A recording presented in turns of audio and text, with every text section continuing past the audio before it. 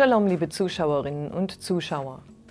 In Israel werden weitere Städte und Gemeinden im Grenzgebiet zum Gazastreifen und zum Libanon evakuiert. Im Süden wurde bereits die 34.000 Einwohner zählende Stadt Sderot geräumt. Im Norden sind die 22.000 Bewohner der Stadt Kiryat Shmona aufgefordert worden, ihre Häuser zu verlassen.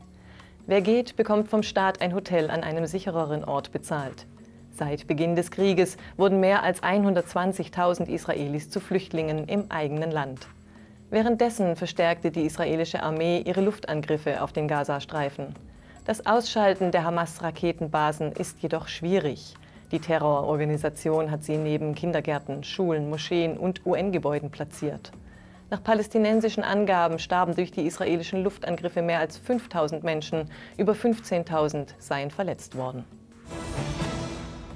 Die Kämpfer der Hamas haben nach neuen Angaben mehr als 220 Menschen aus 40 Ländern in den Gazastreifen verschleppt, darunter viele Frauen und Kinder. Sie werden von den Islamisten als Geiseln gehalten. Ihre Angehörigen haben gegen die Hilfslieferungen in den Gazastreifen protestiert.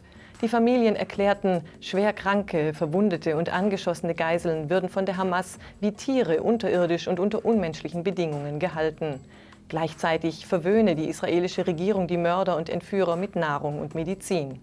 Die Angehörigen machen mit Veranstaltungen und Demonstrationen auf das Schicksal der Verschleppten aufmerksam. Noch immer sind hunderte Leichen des Massakers im Süden Israels nicht identifiziert. 1300 Israelis wurden von den Hamas-Kämpfern ermordet. Lastwagen bringen ihre sterblichen Überreste zum Forensischen Institut nach Jaffa. Die internationalen Experten fanden bei der Untersuchung der Getöteten im Alter von drei bis zu 90 Jahren deutliche Anzeichen für Folterungen. Viele Körper, auch die der kleinsten Opfer, wurden enthauptet. Ein Elternteil und ein Kind wurden zusammengebunden und gemeinsam verbrannt. Der Leiter der Einrichtung, Dr. Chen Kugel, erklärte, er habe während seiner 31-jährigen Tätigkeit noch nie ein solches Ausmaß an Grausamkeit gesehen.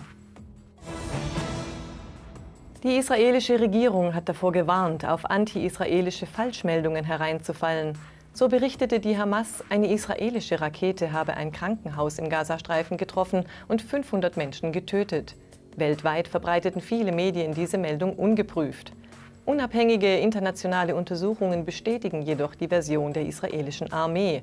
Demnach ist ein Raketenstart von Terroristen des islamischen Dschihad missglückt. Das Projektil schlug auf dem Parkplatz des Hospitals ein. Das Krankenhausgebäude blieb fast unbeschädigt. Seit Kriegsbeginn sind nach israelischen Angaben rund 550 Raketen der Islamisten nicht in Israel, sondern im Gazastreifen niedergegangen und haben dort zahlreiche Menschen getötet und verletzt.